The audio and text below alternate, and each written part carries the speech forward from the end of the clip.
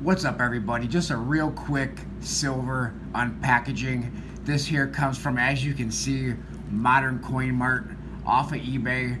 I had a little bit of eBay bucks to spend, not a whole lot. I didn't buy a whole lot in the fourth quarter of um, 2018, so I didn't have a whole lot of eBay bucks to spend, but I had a little bit, so I had to spend them. I had about uh, a little bit over $3 so let's take a look and see what I bought from Modern Coin Mart. Now this package actually came pretty fast. For what it is, this package came within like five days, which is uh, pretty good.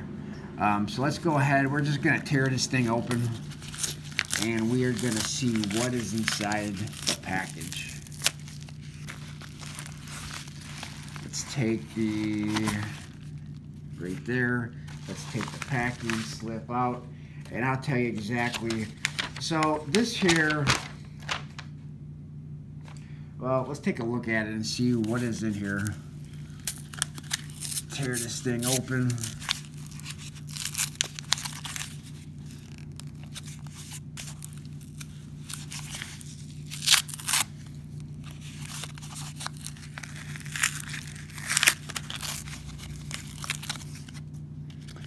All right, so this is my very first 2019 American Silver Eagle.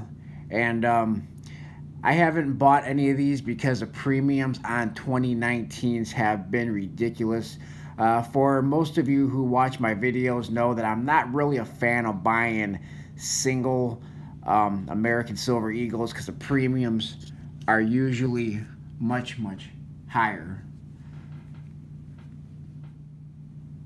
However, I had to use up my eBay bucks and um, yep, didn't want to lose that, that whole $3 or a little bit over $3.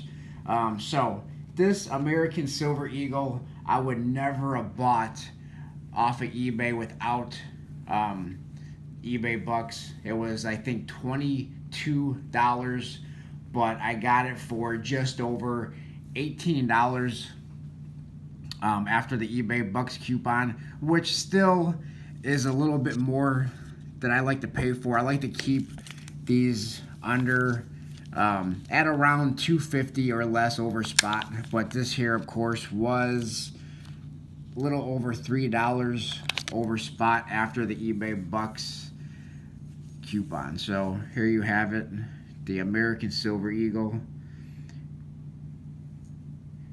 And uh, pretty cool. Now when you buy these singles like this, usually they are grading rejects. Um, even when you buy from Modern Coin Mart, even if they're in tubes, they're probably still grading rejects. But for me, it doesn't matter because for me, this is just bullion. It's a bullion coin, but nonetheless, still bullion. I like to buy them as close to spot as possible. And uh, I'm not worried too much about condition, scratches, milk spots, whatever the case may be. I don't even put these into capsules. Um, I'll probably for this one find a tube to put it in or just put it back in that flip. Um, so that was the purchase. Small purchase, but it is what the budget allows for now. And uh, thanks to everybody for watching. Please like, comment, and subscribe. And I'll talk to everybody on my next video. Thanks a lot, everyone.